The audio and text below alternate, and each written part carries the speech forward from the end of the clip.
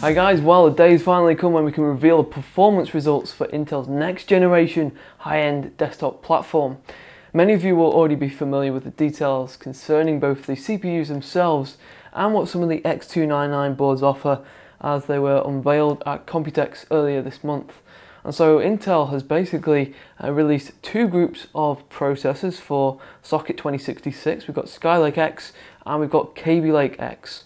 And the latter are restricted to quad core, whereas the Skylake X lineup goes all the way from 6 cores to 18 cores.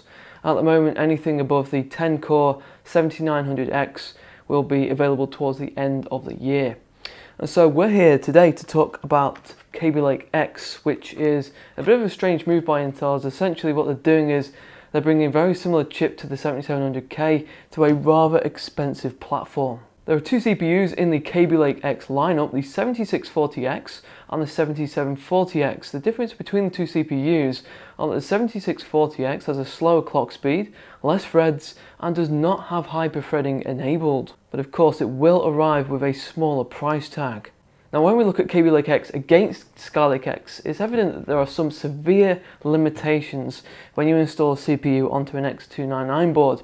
Skylake X offers 44 and 28 PCI Express lane support, while Kaby Lake X only provides us with 16. So what that basically means is that if you want to use more than one graphics card, and the board has dual 16 mode, you will not be able to use it. Instead, you're going to have to opt for dual 8 or dual 4 mode. Another important thing is that while we do have quad channel DDR4 support on X299 boards, if we use Kaby Lake X, we can only make use of dual channel. And so the slots there on the left side of the CPU will basically become redundant. So yeah, a bit of an odd one really to bring in a mainstream CPU and to plonk it onto the high-end enthusiast platform.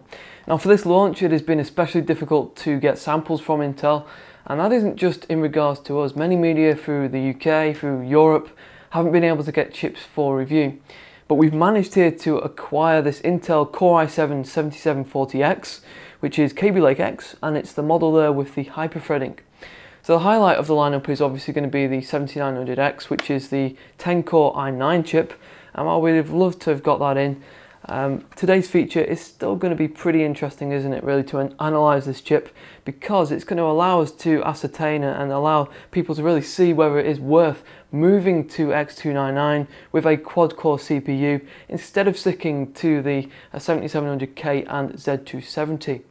So this is just a, a quick video for you today, guys. If you want more details on this chip, the full review is going to be on the screen and in the description very soon. So be sure to check that out. So here are the benchmarks for the 7740X.